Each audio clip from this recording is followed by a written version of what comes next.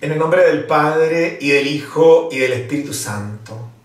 El Dios que en Cristo transfigurado nos contagia de su resplandor, de su gloria, esté con cada uno de ustedes. Del Evangelio según San Mateo. Jesús tomó a Pedro, Santiago y Juan y los llevó a ellos solos a un monte elevado. Allí se transfiguró en presencia de ellos. Sus vestiduras se volvieron resplandecientes tan blancas como nadie en el mundo podría blanquearlas. Y se le aparecieron Elías y Moisés conversando con Jesús.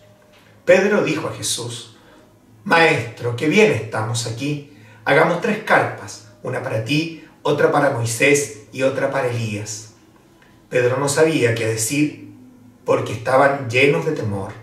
Entonces una nube lo cubrió con su sombra y salió de ella una voz este es mi hijo, muy querido, escúchenlo. De pronto miraron a su alrededor y no vieron a nadie sino a Jesús solo con ellos. Mientras bajaban del monte, Jesús les prohibió contar lo que habían visto hasta que el Hijo del Hombre resucitara de entre los muertos. Ellos cumplieron esta orden, pero se preguntaban qué significaría resucitar de entre los muertos. La visión anticipada del cielo de la cual son testigos en este día Pedro, Santiago y Juan, es un privilegio que los quiere ayudar a confirmarlos en la confianza de las promesas de Jesús.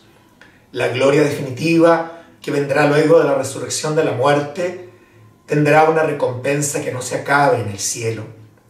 El aspecto de Cristo glorioso que contemplan aquel día en el monte Tabor es una visión que nos quiere animar a nosotros, desde ya acercarnos a Jesús resplandeciente para que en Él blanqueemos toda oscuridad, en Él se purifique toda situación turbia, en Él resplandezca el gozo definitivo que nos dé fuerza para enfrentar las tristezas y dificultades de cada día. Que la transfiguración del Señor nos recuerde a cada uno la meta a la que estamos llamados. Nuestra patria definitiva está en el cielo por eso, desde ya, le pedimos al Padre que venga a nosotros su reino.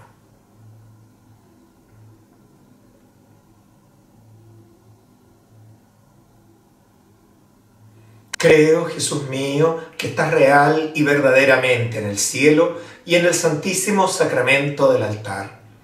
Te amo por sobre todas las cosas y deseo vivamente recibirte dentro de mi alma.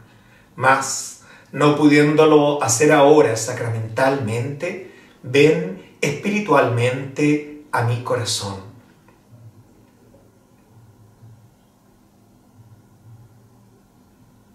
Y como si ya te hubiese recibido, te abrazo y me uno del todo a ti. Señor, no permitas que me separe de ti. Por medio de Cristo el transfigurado nos renueve ilumine a todos, el Dios que es Padre, Hijo y Espíritu Santo. Amén.